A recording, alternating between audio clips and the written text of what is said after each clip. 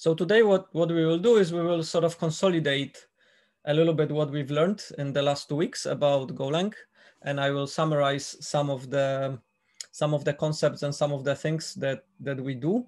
Uh, and I will use it, um, I will use a code review to review some of the code that we have in the repository to sort of point out some, some aspects and to, to do a little bit of an update of the code. So first we, we're gonna talk a little bit about concurrency and a little bit about this client server implementation that is in the repository. Uh, so let's, let's open that up and I will demonstrate how it, how it works, what's the idea behind this. So if I go, if I go to the chat, so let's open two new terminals and I will make them bigger and I will go to projects chat. All right, so I will have three windows. Three ter terminal windows. Perfect. Um, I will build it in the main one. So go build command, and then there is only one, one file called server. So when I build a server, um, I have a server which opens a socket connection and allows incoming connection on port 666, 6666. And then uh, the server when it receives something on the standard input, it prints it here uh, on the screen, but it does the server doesn't read anything from the standard input. It only kind of echoes what's happening inside the system. So the server will print it onto the screen and it will broadcast it to all the clients. So when um, a connection is made to the server, the server needs to keep track of who has connected to the server. So let me run the server and the server opens a connection on the uh, 6666 port and waits for anybody to connect and we can allow it from uh, from anywhere. So if you knew my IP address and if this port was not firewalled on my um, uh, on my home network, you would be able just to connect to my to, to that port and to that server. Uh, we can use different tools to connect to the to the TCP IP ports. Uh, one of the tools we can use is Telnet. Uh, we don't have a client uh, part of the client server code here, but because it's based on text and because of the input output, um, like standard input output, we can yeah effectively use Telnet or Netcat or some other uh, mechanisms that you can type standard input output through a socket connection. So what I'm gonna do is I'm gonna connect to port 6666 using Telnet. And then at that point, the server has a, a first connection coming in and we can check it out in the code. So let me let me open it. I've noticed that the fonts on the um, on the IntelliJ are a little bit on the small side. I mean, they are visible in high resolution, but let me, um, yeah, let me make them bigger. So font, what we could do, maybe 18. Yeah, that looks better. Yeah, maybe even 19. right? So we will have a little bit bigger code. So what happens is the, um, let me find it, the uh, structure. So we, when we open the, um, the socket for incoming connections, um, the, the socket has, uh, in C, it's, it's the same. There is a accept method. So you open the, the socket and then you have sort of a, a blocking method which expects somebody to connect. And that method typically is called accept. Um, so in, at that point, we're blocking the server and we're waiting for incoming connection. When the connection comes, we have the, the handle to the connection and potential errors, and then we loop back. So we kind of have this in a loop and we wait for another connection. So such that we can handle multiple clients. And then what we do with the connection is we pass it to, a, we have a concept of a chat room and we, um, you know, push the connection through the, the channel such that the anybody who is listening for new connection can can handle it. And the chat room has a, a channel joins, and then we just pushing that new connection into the, the channel. So this is the main loop, which I just executed here, right? So if the if I do it from another client, so if I do another telnet, localhost, uh, let me make it bigger. No, it's 6666. Then um, I'm connected, right? So I, I've run this loop twice and I pushed two connections in here. And then what happens is I have a very simple uh, kind of a hello handler, which lets users to introduce themselves. Otherwise, they are without any name because I didn't send anything to the server yet, and the server didn't send anything to me. We just established a, a connection, a, a, pipe.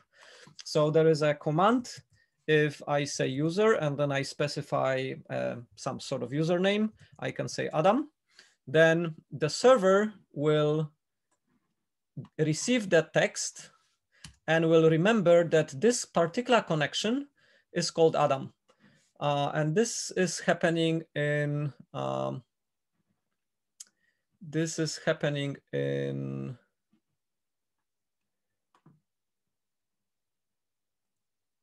that's the, yeah, so what we need to do is we need to read, um, this is the client reading the connection and we have the broadcast, we have the joins, and then when the,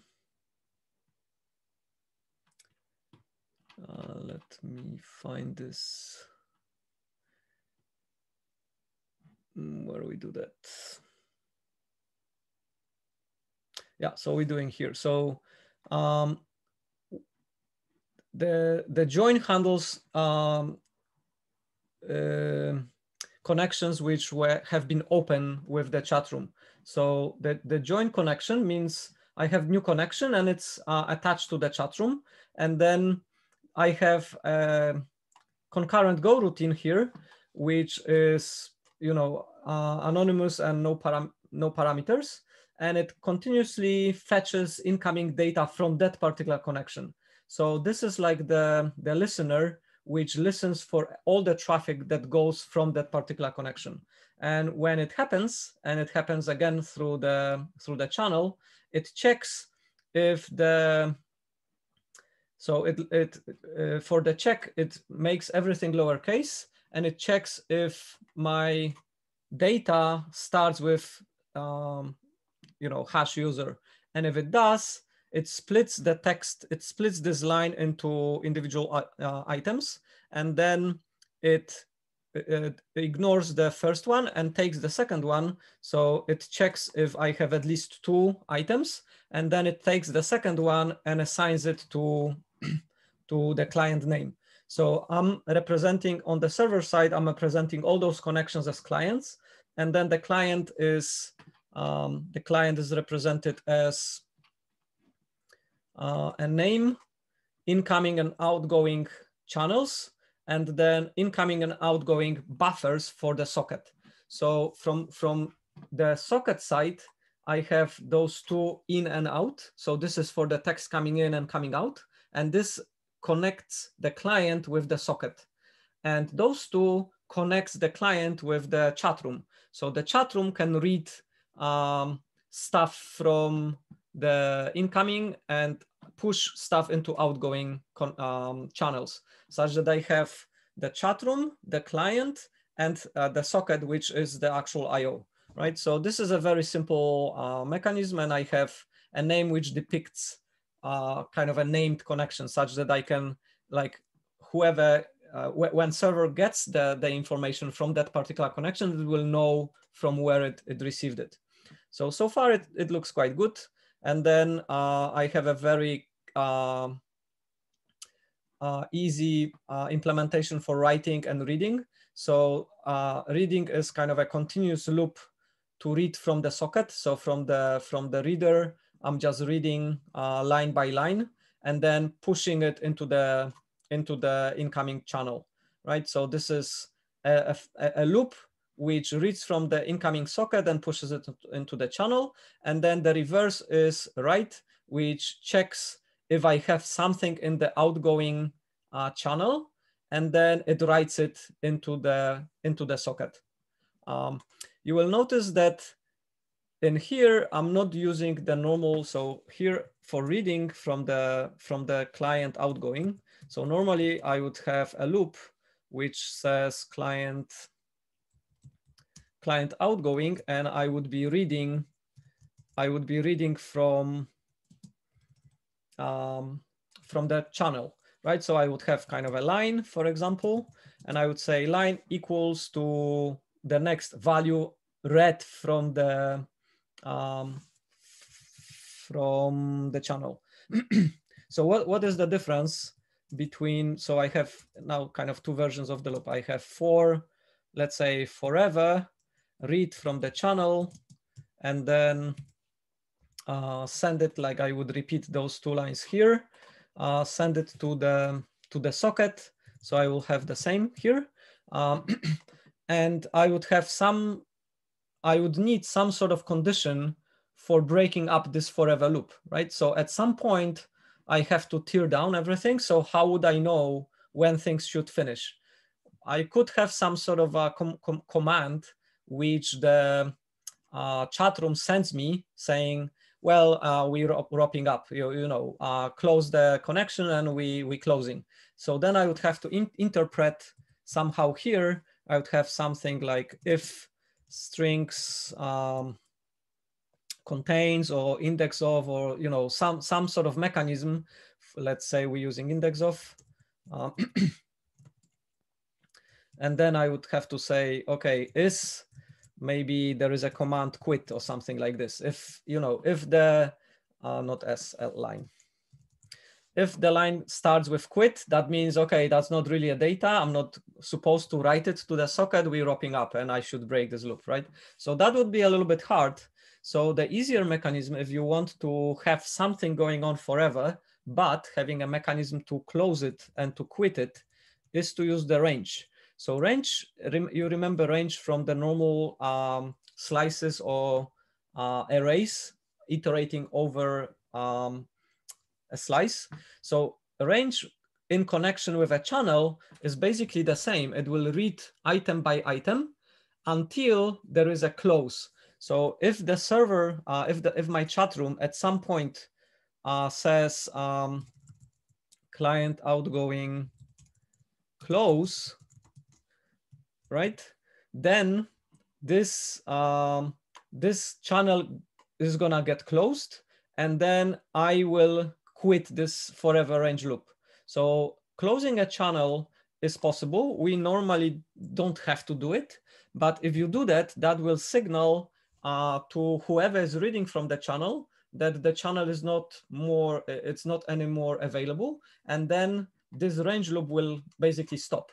So the moment that channel is closed, uh, this range loop will stop and I will hit the, the closing bracket. So there is an, uh, an equivalent test for testing if the channel was closed.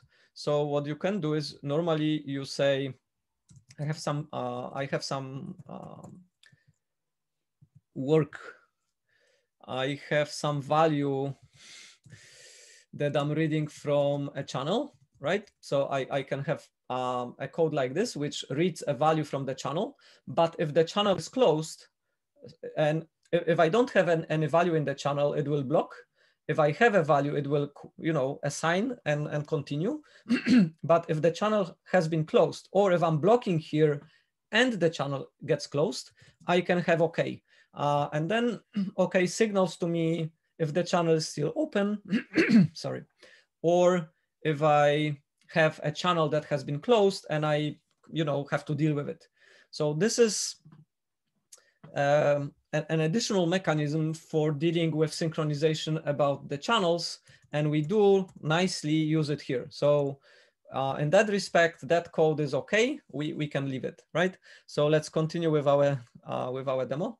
So I will do the same. So let's, let's now, Adam has introduced himself to the server, but this, um, you know, this guy didn't. So if I type something here, um, let's make it even a little bit bigger.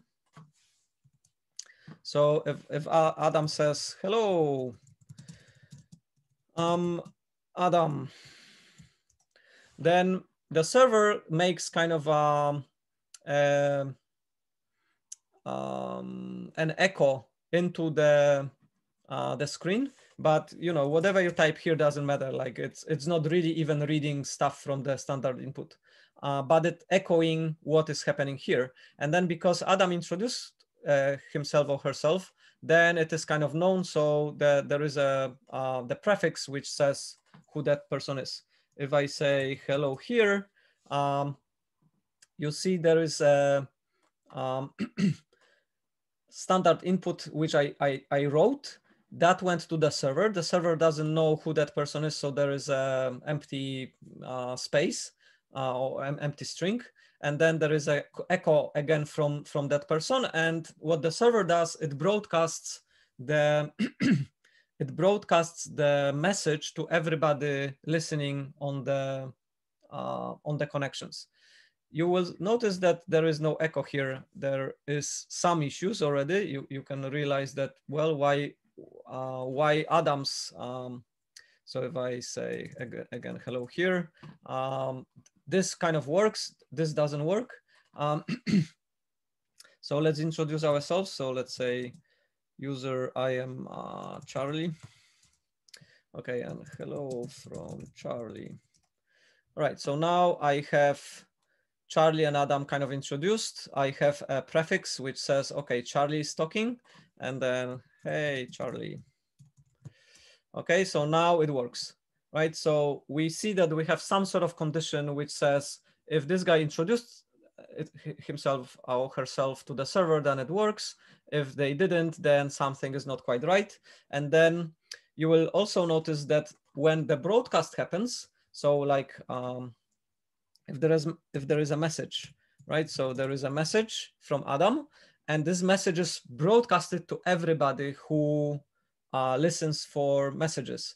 Well, not really, because that message is not kind of uh, not displayed by the by the by this client, right? So somehow the server filters out the message which is from Adam, it doesn't pushes it back to Adam, it only pushes it back to everybody else.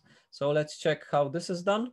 Uh, and this is done by another uh, Go routine, which um, reads from the, yeah, so we we have kind of a chat room listen call, and that starts another Go routine, which iterates over uh, incoming messages. So what is incoming into the uh, into the chat room, and then it broadcasts it to everybody. So let's check the broadcast method. So the broadcast method says Okay, we continuously, again, we're using the range idea. We, we reading continuously, uh, no, no, actually clients is, yeah, that's another thing. So it iterates over all the clients. The clients is a slice of pointers to clients. Uh, and then it checks if the data that we supposed to push starts with the name of the client. If it starts, it doesn't do that, right? So it says if it doesn't start with the client name, then we push the data out to that particular client. But if the data is from that client, we don't do that. So there is no echo back to Adam, right? So this is this is okay as well. Um, you will notice that uh, the clients, uh, in, um, so where is that? Yeah, so the, the clients is the slice of pointers to client type uh, inside the room. Um, and there is a small problem with it. Okay, so it works, uh, but the problem is, what if we want to remove a client from a slice? So if, for for example, if I um, if I do that, I quit one of the um, I, I, I quit Charlie, right?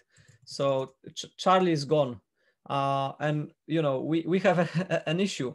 Uh, we have kind of a server going berserk because the server is going in a loop and there is an error because Charlie closed the socket and then we have kind of a serious bug. We almost have a denial of service, right? And Adam is saying, oh, what the hell, right? What just happened? Um, so we have to kill the server and we have to fix that. So we have to fix that by handling errors. And that's the second big point of today code review. Uh, so you will notice that when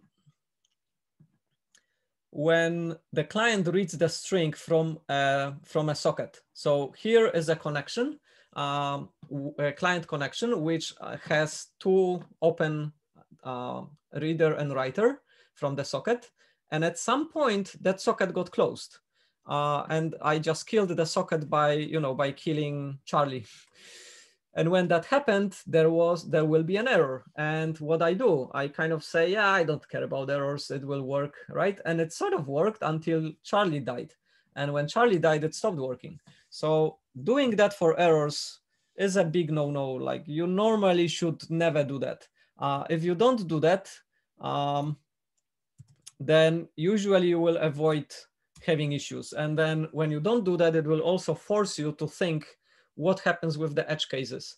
So what happens here with the edge case? Well, you know, the client, something is wrong with the socket on, on the client side, which means um, we have to deal with it and probably we have to remove the client from the chat room, right? So here we have to deal with the error and not by printing an error to the server console saying, oh, there was an error, everything is fine. We actually have to remove the client from the client list. And to remove the client from the client list, we have to remove them from, this, from that slice. And the problem with removing something from an array or something from a slice is that you have to iterate over the array and find out which index that thing is and then remove it, right? Um, Golang is quite cheeky uh, with this uh, because in some programming languages, um, so let's say I want to have a function.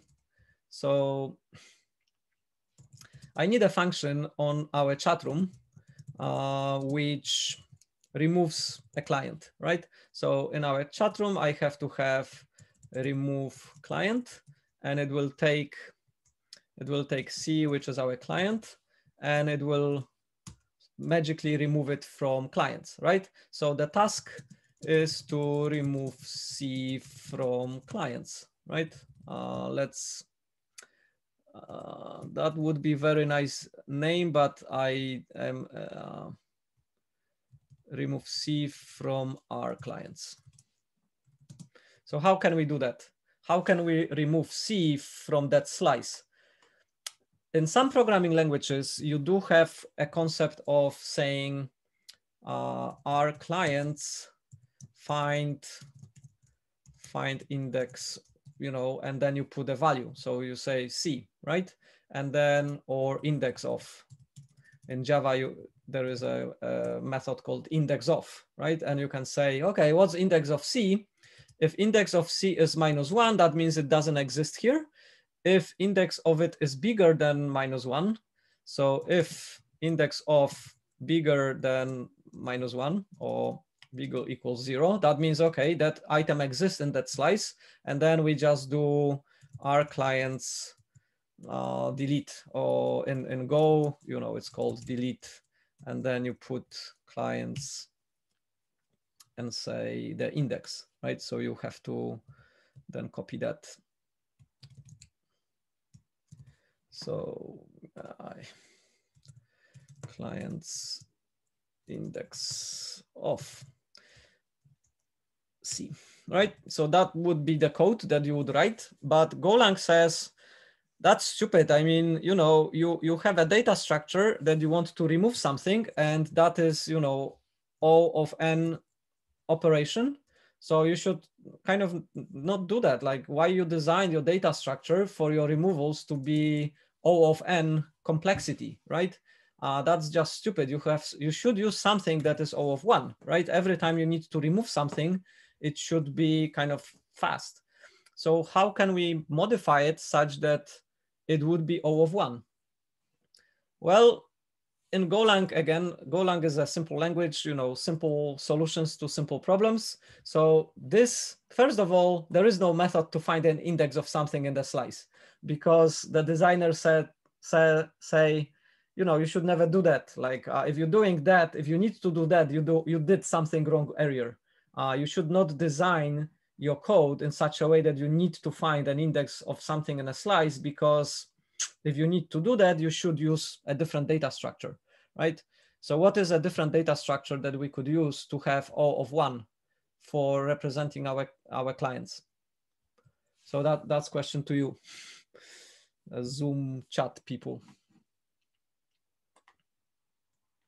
So what can we use? What sort of data structure could we use to have an ability to remove something in just O of one complexity instead of searching for it where it is. Exactly, perfect. So the suggestion from Yoef is we just use a map, right? So if we convert it to a map, um, the question now is we have a client and how we should map what to what. So it would be nice if all the clients have name and if the name was unique, because then we could map name uh, to the instance of a client and always find them by name. That's not true in our case because we don't know, um, you know, we don't know all the names of, of, of, of everybody. So what what that map should be? Well you know it would have to be the client itself to be the our key because that's the only unique thing that we know about the, the clients. Um, we actually have the instance the name is not unique and then there is nothing else that we can sort of extract in a primitive type that that is um, we could use an ip address that's correct so we could extract an IP address from the connection and uh, store it here. Um, yeah, that's uh, that's a valid point. So Dennis suggests that we could use something unique about the connection, like for example, an IP address. But then, you know, I co actually connected those two clients from my home machine, which all share the same IP address. So it would have to be an IP address together with a particular port on which they initiated the connection, right? Uh, because the server is listening on port 6666, it's the same port, but the port which this client connects to has kind of a unique number which is generated by the operating system, and that's quite unique. So if we uh, combined an IP address with the port, that could work. I just wanted to show you another idiomatic way of, uh, of doing that, and it's a concept of a set. So you can use map uh, to emulate sets, even if your language doesn't have sets.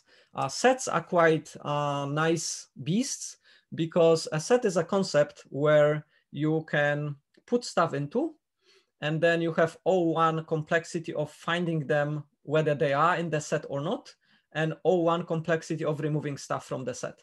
So some languages have set built in and they use kind of a hash map behind the scene such that you don't see it.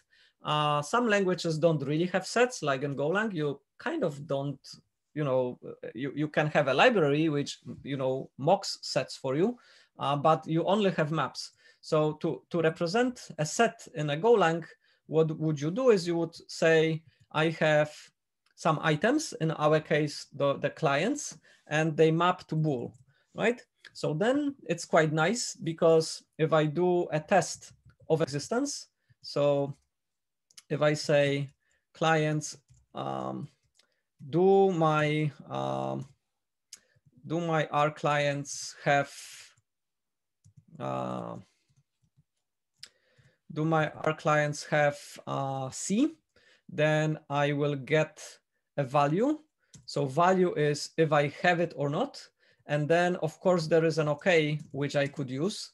Um, but because the default value for non-existing client in the set is false, I actually have the same behavior just with V, right? So I can always say if um, R of clients of C exists, then do something or you know remove it or whatever, and that's O of one, right? So this is kind of a neat trick for simulate sets in in Golang, and that's what we should use here. So instead of using a slice, which has this kind of O of n complexity to deal with uh, deletions and finding if something is here, uh, we can use the concept of a set, and then we have this uh, O of O of one. So that's great. So um, we kind of ranted a little bit about why there is no index of, and instead we can use a set. And then if we do a set, we have this, which makes it quite a nice, um, nice piece of code. And I hope I got the, so this is fine. That complains that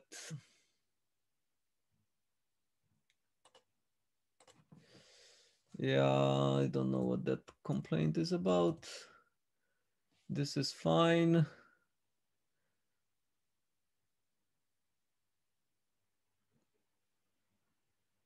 mm. this is wrong and then is it, uh, let's check. So where is the, so if we go Golang doc and we check, um, so search map,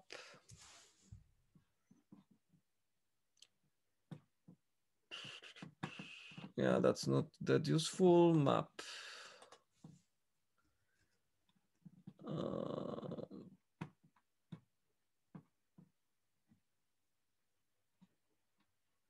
mm, okay, so let's search for delete. Built-in delete so we have to specify the separately the map and then the key. So the syntax I got wrong. Uh, you do the map and then the key. Right. So then we have uh, an ability to remove the a particular client from the chat room. Um, yeah, let's rename it to chat room. I don't know why it complains about the about the inconsistency probably of the naming. Yeah, so this is all nice. We have now a lot of errors and we have to fix them. So I will I will do that later. I mean, we don't have to um, fix all the code. I just need to tell you the, the concept. So the first concept was here uh, to change the slice into the set, and then we have a, a, a easy ability to remove um, to remove the clients from the from the set. The second one is we have to have this mechanism for uh, deleting the. We have to have a mechanism for deleting the client from the from the chat room. Uh, there is also another um, another problem, and as you see, those two methods are highlighted, right? So you already learned the lesson here that you should handle errors and it's the same here. So on the writing part, I can also have a problem when I'm trying to write and the, the uh, receiving connection is closed, then this one will, will um, return an error, right? So um, both this writing to the, to the channel and, and forcing the write uh, will cause, will potentially cause an error. So here I also have to check uh, check the error and check the error and I have to handle it. Um, so if, well, um, do I need to handle the first error separate from the second one? Well, if, if this one had an error, then I'm not supposed to be flushing because I know it will also cause an error, but I kind of don't care uh, who failed. I just need to know that I have some problem. So what I can do is I can sort of um, do a little bit untidy uh, mechanism if I say if error one or um, where is or um, or error two is different than nil, right? So if one of them failed, then I need to deal with it, uh, but um, I don't need to know which one which one failed. Uh, why you don't like that? Ah, yeah, because this one doesn't return the error. It returns a number of, um, it returns, uh, yeah, so I am ignoring the value and the error. So it returns two things, how much stuff has been written uh, to the to the reader, uh, to the writer, and if there was an error. So I, I have to ignore the first one. Otherwise, you know, it always, if I only use one, it thinks it's the first one. All right, and then I need to kind of handle it. So here we have to do the same code that we do here. Uh, so somehow on the, um, and when the, uh, when this call happens, I have to have a handle to the chat room such that I can tell the chat room to remove that particular client from the, uh, from the struct. I can do it two ways. So one way is I pass, uh, I have kind of a circular reference, re reference such that the chat room has all the clients, but when the clients are instantiated, it kind of injects itself into the client such that the clients also have a, uh, the client has a reference to the chat room it belongs to, right? So I could have clients containing, uh, chat room containing clients and client having a reference back to the to the chat room. Uh, and that's fine. Uh, we could extend it by adding, you know, adding a new um, the the reference to to a room. Uh, and then when I'm instantiating the client, I, I, say, okay, you belong to this room. And then if I do that, then uh, the handling of the error is relatively straightforward. I can say if error is different than nil, then our how we call it, remove uh, room, room and client. So client room, remove client, right? So I can say, well, you know, I'm sort of done here. I got an error. We will not be serving you any more lines. So I, I am kind of putting myself for deletion and I will break the loop uh, such that I kind of return from here. So I'm not, I'm not even, um, you, you can, uh, instead of break, you can kind of say return.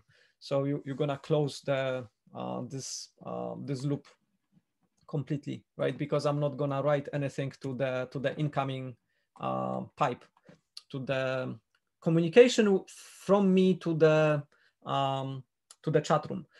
But now if, if we do this this way, you see, uh, because I have the direct communication with the room, I have a reference here, then this mechanism is a little bit weird because why would I do that instead of calling, you know, something on the room to tell the room that there is this, um, this line, right? And the room can handle it itself. So because we have this mechanism, maybe we, instead of doing this reference here, we could have this uh, mechanism of checking uh, when the when the room reads, um, so when the room does this, right? Um, or actually when the room does this. So when the room does this, we could have a kind of a command processor and it would say, okay, if I have an incoming request for removal from the chat room from that client, I will kind of remove it. So it either way, you, you have to decide on one mechanism and sort of stick to it. Otherwise, it might be a little bit confusing, although you could use those two mechanisms, one for removal for this kind of maintenance and one for just passing the, uh, the messages. Why? Uh, because you could imagine that you want to have some middleware and for removal, you, you do want to have this direct communication with the chat room. But for example, you want to have a middleware which adds additional logging or you want some audit trace and you want to log some, uh, you know, what was the communication flow. And then having everything done through the channel is kind of nicer because you can, um, you can inject things in, in the middle, right? So uh, let me show you um, let me show you here. So currently we have one channel. Um, we have a channel and it, it is uh, written to by clients and then it is um, read from by uh, the room, right? So room reads, reads from a channel and clients uh, push into it, right? Uh, I don't have a direct, so with the other model, what would happen is I would have a room and room is kind of connected to clients. Uh, let's say it's just a single client, right? Uh, and then because I have a, a, coupling, I will have hard time injecting something in the middle because client depends on the room and room has a client, right? So uh, from the client point of view, when the client sends a message, the client is directly coupled with the room, right? Uh, here I have this middle thing in the middle, which decouples my uh, my connectivity. Like client doesn't know who reads from that channel. For from the client point of view, it can be anybody. In this model, from the client point of view, it has to be a room, right? So in this model, if I want to in, inject something in the middle, I can say, okay, I have uh, a log channel, uh, and then I have the original channel and I have a client, right? Uh, and then from the client point of view, nothing changes. And then from the room point of view, I kind of injected, injected additional channel that actually reads from this channel, uh, does something to it, like the, the middleware processing, like logs it or add some, you know, lowercase, whatever you want to do in the middle, and then gives it back to the room. And then room handles it, right? So it's kind of easy to do that this way because I kind of inject something in the middle and I only need to modify slightly from where the, uh, the room gets or how the, the channels are kind of handled. With this model, I need to modify both ends and injecting something is not as dynamic. I can have this pipeline organized in such a way that I can have the middleware being dynamic such that I can always inject new channel in the middle and the new channel will read and put into the existing channels.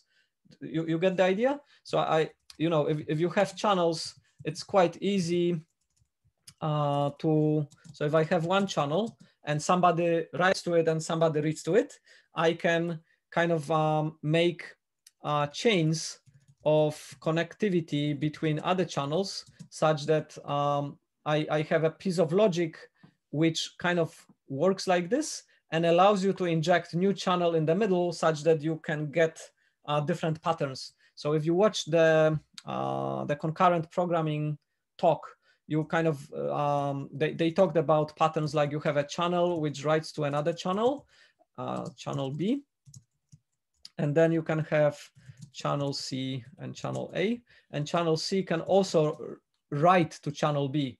And then uh, you have just a single, uh, like a funnel, right? Uh, or you can kind of uh, split it, right? So I can have the opposite. I can have channel uh, B, channel B writing to channel A and um, to channel C, like I'm making a copy. So this, there is some logic which pu puts the same thing into two channels and so on. You can kind of uh, play with it. You can organize various ways of uh, organizing your flow and organizing your connectivity. And it's very dynamic. So it decouples your components in such a way that you have this flexibility, right? So um, so that's what I think is okay in, in this case, that we will have a dependency uh, on the room from the maintenance point of view, from uh, just wiring the, the components in. Uh, but for the communication, I, I want to have this flexibility because I may want to introduce you know, uh, some checks or introduce some additional processing to the information being passed through the, uh, the chat room.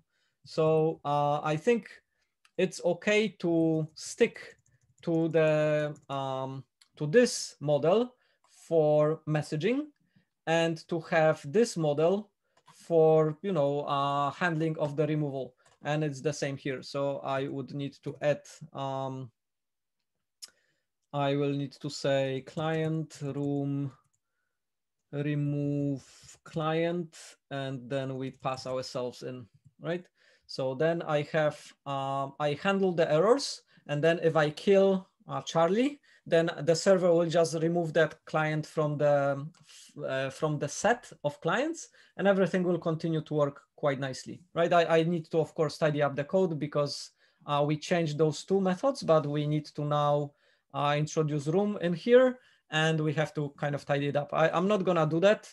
I will do that after the class and push the changes to the uh, to the repo, but I think you, you, you got the idea of what initially was kind of wrong here and how you can improve your, your design. So the first thing that was really wrong here was not handling errors. Uh, I cannot stress it enough. It's so tempting to always um, ignore your errors in Golang because they are kind of nuisance. Um, if you are doing the advanced programming and you move to Rust, you will love the way Rust handles this type of errors. In Golang, unfortunately, you have to do those uh, tedious if statements everywhere, uh, but you just have to do them, right? So you do, you know, you do not use the underscore, you do use the error and you do those if statements. Uh, that, that will save you a lot of uh, problems, especially if you have relatively complex problem like um, th this is not very complex problem uh, uh, system, but you know this killing the Charlie and having this was a little bit surprising. Like, uh, what the hell? Like, how it, this happened, right? Uh, well, it happened because you have loops and they ignore errors and they keep looping, right? So um, don't do that. The other problem is um, slices are great, but sometimes a map or a set is a much better idea. So uh, you may be tempted to use slices sort of everywhere, uh, which is fine, but consider every time that you need this index off and you it's like a you know alarm bell telling you you're doing something wrong. You're not supposed to use array or slice here. You're supposed to use something else. In Java, I use index of a lot. Like I remember in my kind of assignment days, um, we had a lot of code which did index of. And the design of Go is good because the lack of index of is a constant reminder that you're doing something wrong if you do need index of, right?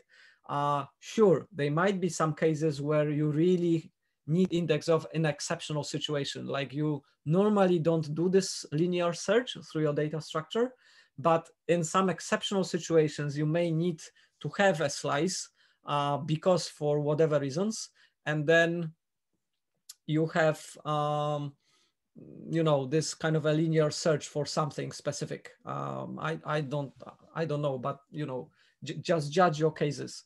If if it that's your case yeah sure you, you're probably doing it okay. But uh, most of the time i know from my experience that i was doing it wrong. And go kind of taught me uh, that index of is kind of bad uh, and they don't have it in the api at all right?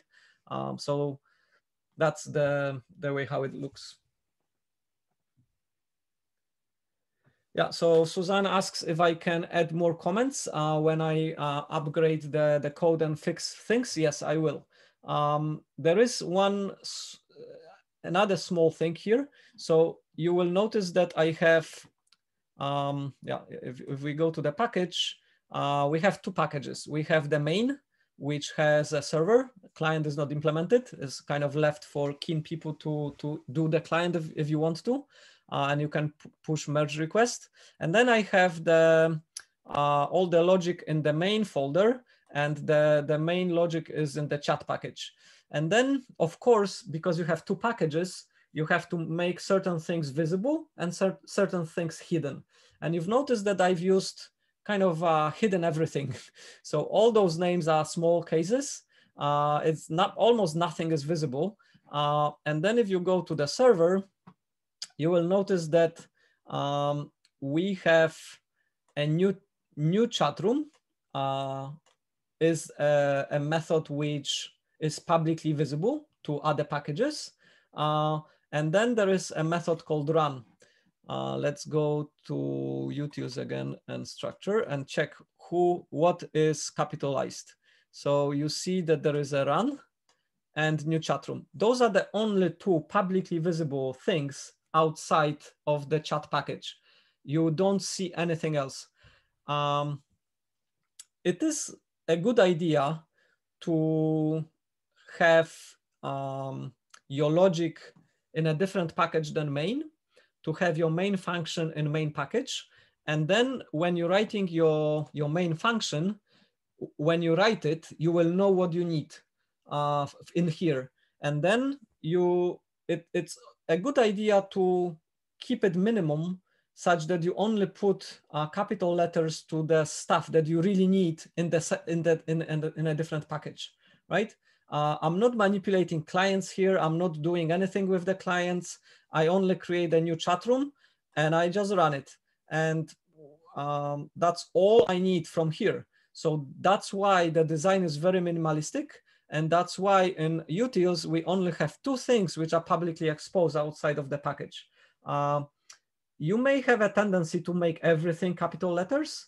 That's a bad, uh, bad strategy. Like start with hiding everything, encapsulating everything into the package, and then um, only exposing things that you really need to expose because they are useful or they are used from, from your main package or from other packages uh, because that will make your kind of encapsulation and your um, hiding of, of stuff a, a little bit better. Um, having said that, that will bite your ass if you're doing JSON because for parsing JSON, a parsing package needs to have access to all your structs.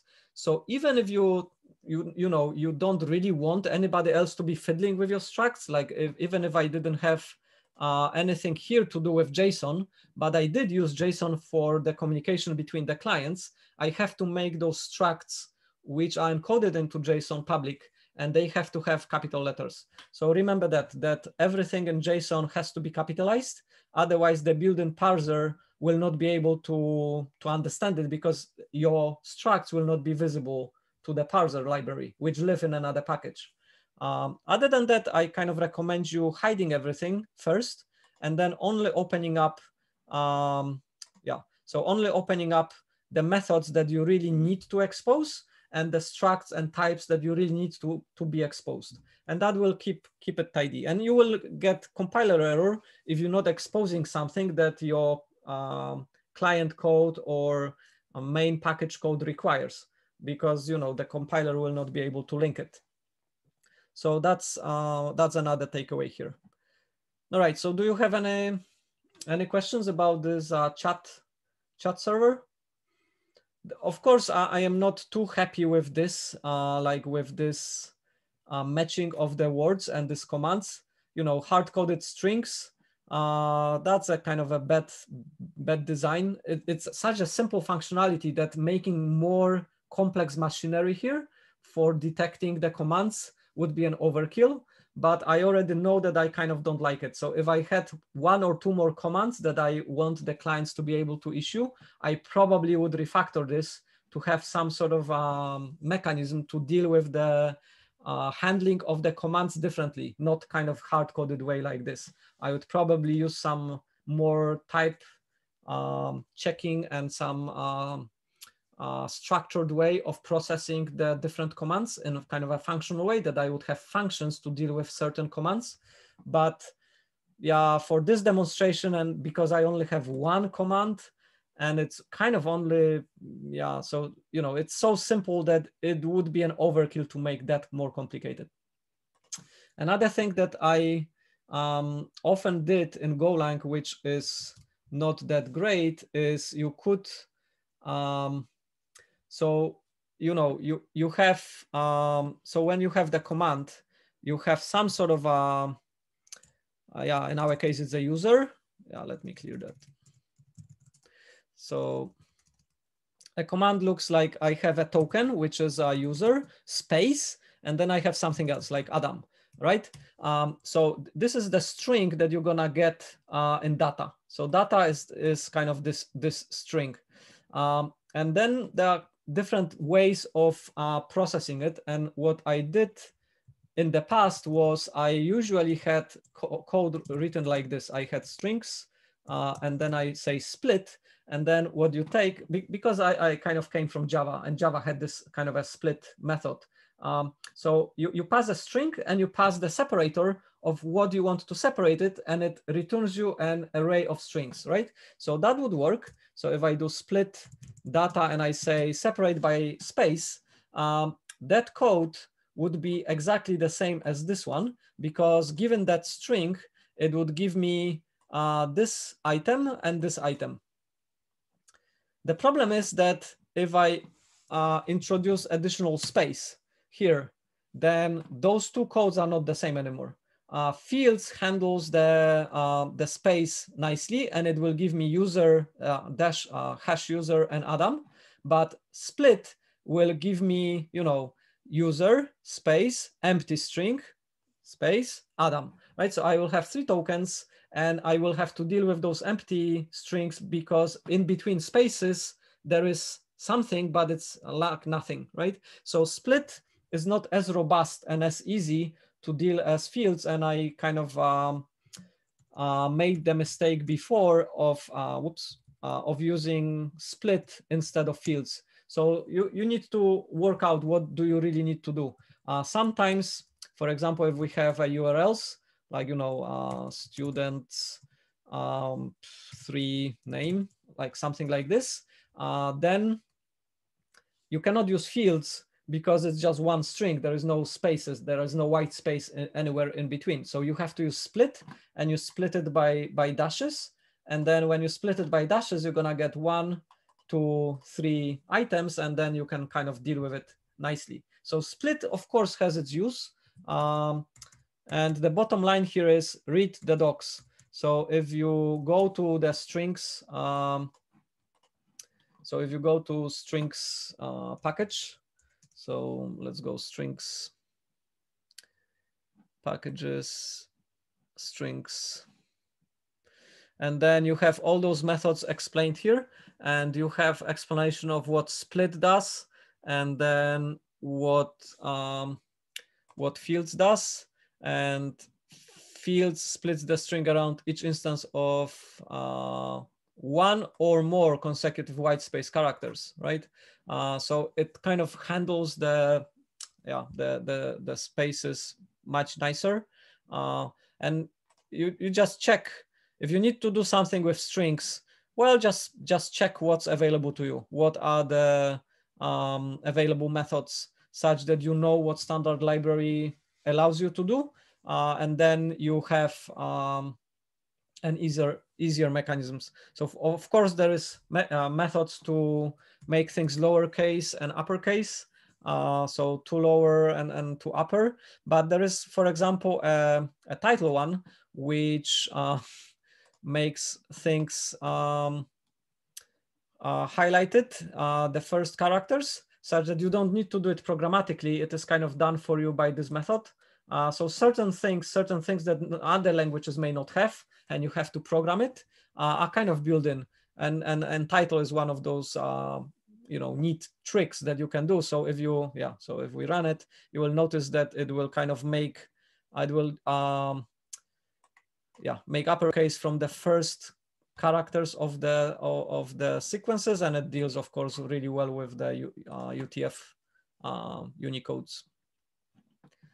Right. So uh, handle errors read the docs, uh, use the channels range for um, reading from, um, yeah, from the, from the channels. Yeah, about that. Uh, when we killing ourselves here, so we, where, where are we killing ourselves? So the client, um, yeah, the client is kind of a killing itself here. uh, then there is a, a question of um, who kills the channel. Like, so who kills the client incoming channel, right? Um, one way is that the client kind of kills the channel because client owns the channel. Or the other one is you do that inside a remove client method and it's the um, room responsibility to kind of uh, clean everything related to the um, to the channel. So in our case, if we go to um, new chat room, and if if we go to the new chat room and you, you see it's the it's the room which makes the channels, right? So if the room makes the channels, it is more consistent in our design currently for the room to kill the channels to say uh, channel close, right? Um, even more consistent would be for the client um, to only have, so if we have the, uh, the client and the client has the incoming and outgoing channel, it would be more consistent to say, okay, client, uh, that's the room, sorry. Um, yeah, for the client uh, struct here, uh, would be to say, incoming channel from the client point of view is only to read from, right? We restrict clients not to be able to write to incoming channels and outgoing channel is restricted to being written to. Uh, and then you cannot fiddle with the channels like channels are managed by the room and you don't kind of have the full control here. And that would be a clear indication who is responsible for closing the channel, right? Um, yeah, it's actually the other way around. So the outgoing is, it's the outgoing is seen from the point of the socket, right? So incoming is, uh, I, I have something incoming from the socket, so I can put it into the incoming and outgoing is something I have to push out. Yeah.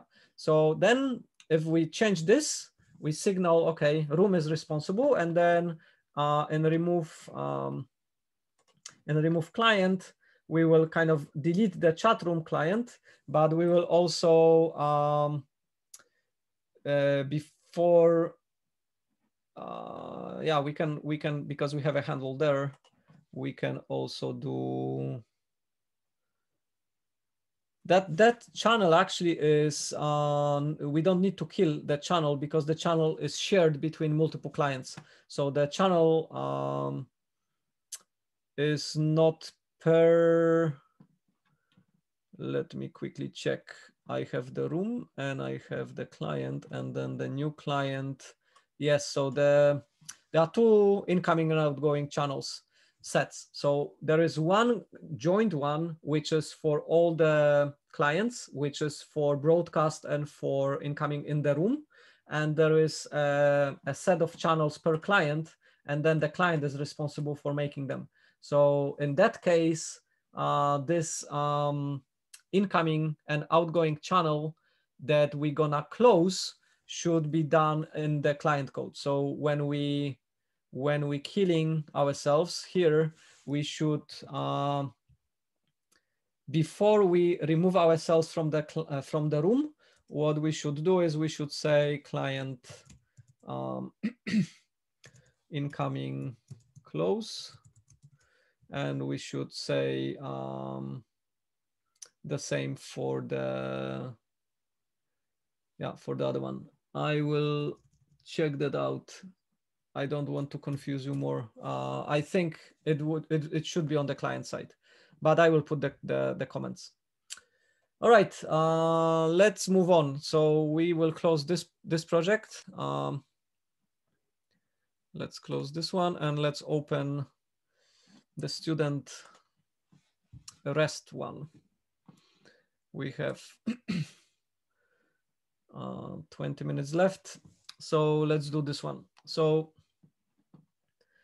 this one is organized into um, data structures around our data store. Uh, and most of it is publicly visible because we want the um, we want the logic for the database be in a kind of a separate package and that being used by the logic which has to do with uh, our networking, with our REST communication. So in this case, a design which exposes quite a lot is probably justified. But again, you, you may need to check what exactly needs to be exposed and what doesn't. So if you hide everything, then the compiler complains that you need something, but you don't expose it. But if you open everything, then you don't know if it needs to be open or not. So as I said, it's, it's usually better to start with uh, more conservative um, exposure of the API uh, instead of opening everything uh, up. But this, this is relatively straightforward. We have students uh, represented as, as maps, okay, ticked. We don't have ON search for removal. Uh, we have O1 uh, for removal and uh, uh, finding it. So for lookup. So, you know, um, when we need to get a particular student, we get it with O1 complexity. So that's fine. Uh, we can pre prepare all the students as a slice such that it's easy to do kind of uh, range operations and things on the slice. So we have kind of an, an utility method which returns all the students uh, as a, as a student slice such that we can kind of easily, easily do that. Um, you will notice that I'm not returning uh, a, a, reference to all the students, right? So I'm not returning this, I'm returning this. Um, so again, it's a little bit of a design decision. W would you want to have a slice of students to be doing some manipulation on them? Or will you want them only for read only and then you will not be kind of updating or changing it? Um, it, it is important because if you have a multi-threaded uh, environment and if you have a multi-goroutine environment and you are doing some manipulations on the student instances from multiple threads, of course you need to synchronize it. So then you need to use channels or you need to use some, some mechanisms for ensuring that that's the case. So it is safer not to say star here. It's safer just to say this because then I can, um, I, I know that I'm not like uh, fiddling with the data. I'm, I'm just giving you the copy and you can kind of see the properties, you can display it or you can do some, some stuff with it uh, you can turn it into JSON and send it to the uh, to the web client, but you are not gonna change something beneath my feet, right? So every time you're returning kind of a reference to something, well, you you need to be kind of um, um, careful of of what what you want, and the way we we manage that is we have this uh, student DB and that's what we do our manipulations on students, right? So we adding students, we counting them, removing them. We don't have an update method, right? So if you see this uh, student storage interface, we don't have an ability to update a student, right? We not uh, currently have this ability. But if we did, it would be on that level, not on like the pointer to student level, right? So you, you kind of keep it hidden and you keep it behind the interface of how you're updating a particular student record and you don't expose in your API a reference to a student and then some code somewhere will kind of uh, change it. So it is, um, it, it is a kind of a safer design. So one, uh, one note here is that we don't have update yet implemented, but that's okay.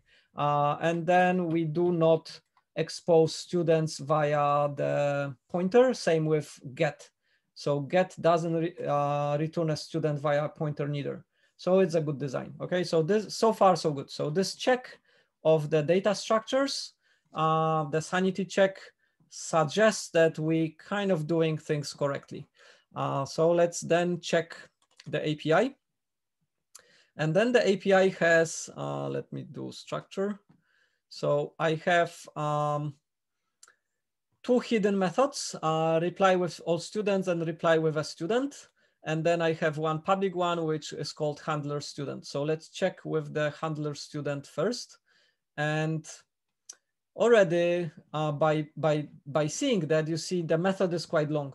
Uh, so it starts here, it goes on, uh, and it doesn't fit with the large font on a single screen. It, it fits on a single screen with a smaller font, but um, Generally, you should try to keep your methods relatively small uh, because it's easier for somebody doing kind of a code review or, or trying to understand what you're doing uh, more, more concise. I, I, mean, I am not uh, orthodox about that rule. Like there is a movement which says keep your methods small or keep your functions short is actually harmful. And it sometimes reduces the readability. Sometimes it's okay to have things in a scope and have some inner functions inside a function and make the, the actual function a little bit longer, but have it kind of encapsulated and having everything in kind of logically in one scope. Um, so, you know, don't be religious about the length of the methods, but if the method is long, maybe there is something fishy, right? And in our case, it is. So we see that we have a handler student method, which handles two cases. It cases for the post and it handles the case for the get, right? Why a single method handles both cases? Um, yeah, that's a little bit untidy. Uh, so what would be tidier would be to have a method which dispatches, which kind of uh, checks what are we what we need to deal with, uh, and then dispatches the the handling to two other methods, right? Uh, such that we have the post and the get handled by separate methods instead of this sort of a code inside here. So one refactoring that we could do is we could take like we could check okay uh, we could dispatch on the on the request method. And if the method is post we have just one one function which does this. And then if the method is get we have the other function which does this. And then this this function would be very compact and it would be very clear to see what's going on. Currently, I mean, it is the same logic, but it's a little bit not that straightforward to see that that's what is happening, right? So if I convert this into a method and this into a method, then this will work like a single dispatch, and then it will be a little bit clearer of what is happening. So that's uh, one uh, recommendation that I will do again after the class. The other recommendation is let's check those two methods. So I have, um, I have a global DB inside my package, right? So I have a REST student package. Uh, and then let's see the project again. Uh, and I have a command which has a server, which has a main function, right? So the, the main function is here. Uh, it calls um, initialization on the database, uh, but in my package, uh, so in here, I have kind of a package global variable which says I have this DB here. Uh, so what, what what's going on here? Let's ask. Uh, what is where do I use it? So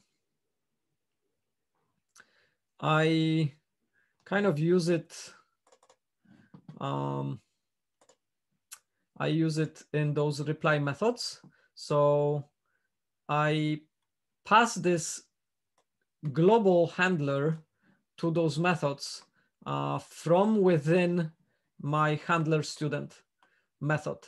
And the handler student method is a public one, and it is being used in the um, in the main to initiate like how the handling is done.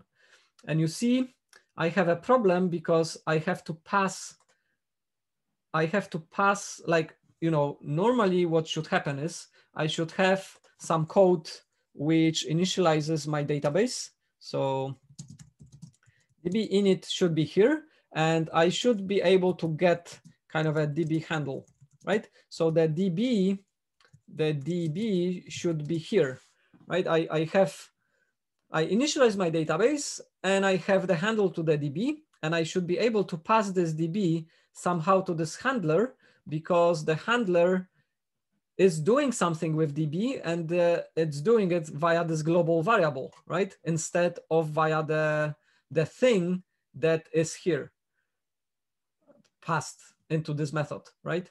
So it's a kind of a, a very typical design. A lot of you would like to do that. You not you should not do that, right? So what you should do is you should have um, you should have a different design. So what you should do is you should say, I take my DB here. So uh, what, whatever the, the type is, right? I, I, I have a method, I have a function which takes three things. It takes the, um, the writer, the request, and the DB. And then this method returns a function, whoops. Um, this method returns a function which takes um, HTTP. So let's write it here. Um, the, the, the stuff that this function returns is HTTP response uh, writer and HTTP request, HTTP request. Um, HTTP request. All right, um, and it returns nothing. Uh, and then you should put um, a logic here such that you have, um, it, it, it, would effectively be the, the same. So you'd say return a func, uh, which takes those two things, which is kind of like this.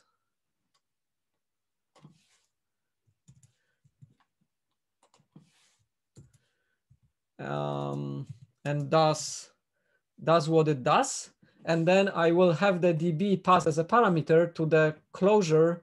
And inside here, I would not need to have the reference to the global uh, global DB. Of course, yeah, that should be, um, the DB should be a reference.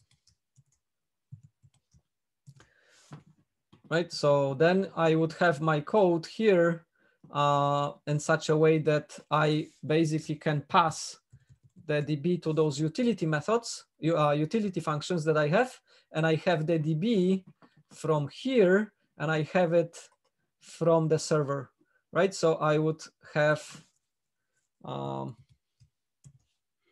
yeah, so I would pass DB here. I don't need to pass the reader and writer to for this method to generate me the, the one that I really need in this place. So I can, I don't really need uh, this because as you see, it, it would not be used anyway. Uh, so I only need a handler student to take the DB and the handler student res, uh, re responds with a function that takes those two parameters and that's the logic of what the function does.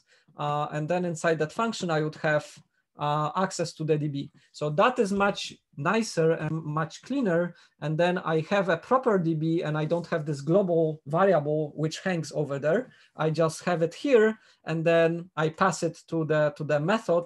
Ah, I pass it to the function which generates me another function which is required in that place.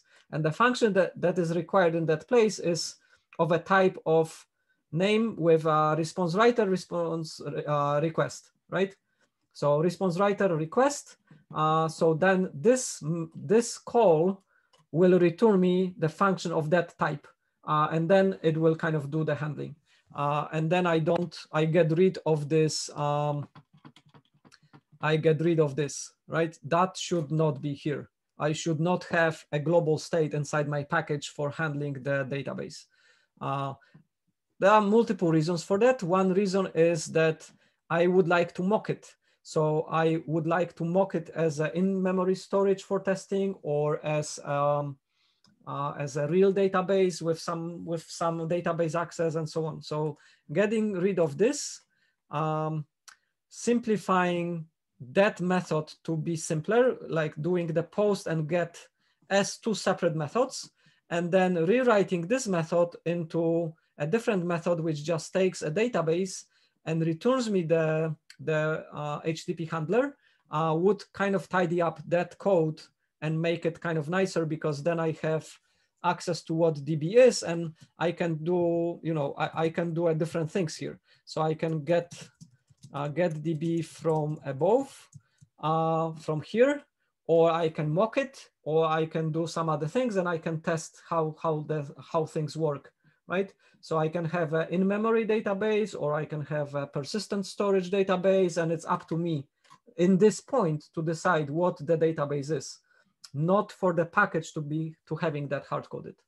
Um, so those are kind of the, the three refactoring tasks that I decided that needs to be done here on the code that we had. Uh, again, I will kind of comment it out and I will uh, finish it and push it into the repository uh, such that you will see uh, how things could be improved and what you should avoid uh, doing. Like it worked, the code as it was written worked fine. It, there was no um, major like behavioral problems. It, it, it, fulfilled the requirements. You could add an um, students and look them up via the REST API, but it was written in a way that was not easy to change that into a persistent database store. It was a little bit hard to read the logic of that, of that particular function. And that particular function required to be rewritten into a higher order function to return the handler such that in our main, we can initialize, initialize the database properly and then have um, this kind of pass the database in, right? Um, there is one uh, final note on the um, on the structs or or the uh, DB uh, things that that we do, right? So let's have a look again on the student. So we have an interface, uh, and then we have a student struct, and then we have a student's DB struct, which is um, kind of the, the placeholder, the storage for the uh, for the storage. And then the student's DB has as a, a number of methods. Uh, and one of those methods is uh, init.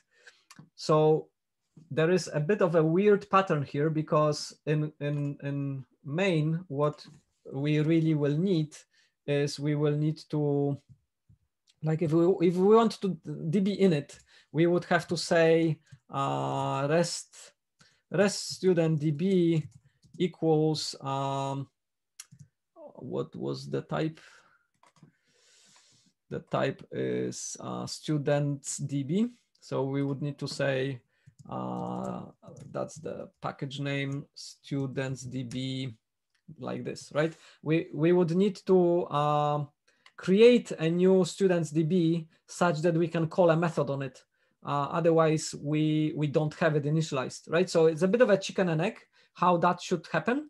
Uh, but um, either way, it's a little bit untidy and, and it would be nicer if we had, uh, if we turn it around and do a little bit more idiomatic way and go, which is we have um, a method called dbinit, and this method returns, uh, so this method will return us a student's db type, which is initialized database, right?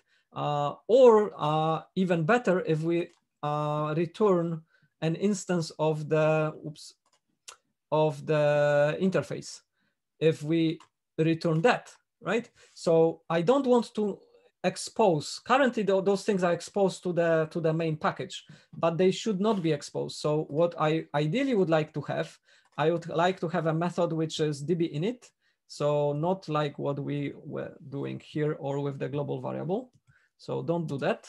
Uh, have some uh, DB instance, and the DB instance would be of the of that type of the type of the interface. It will be student storage, right? So if I do it, um, if I write it uh, slightly differently, so I say var db is rest student storage that interface, and then db is of that type, and I have a utility method which initializes to me the student storage.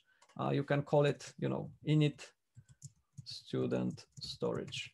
And then I, I kind of hidden all the internals of, of those structs and how they, how they work. They probably like student DB should not be capital S, it should be small s, it should be hidden in the package. It should not be visible here.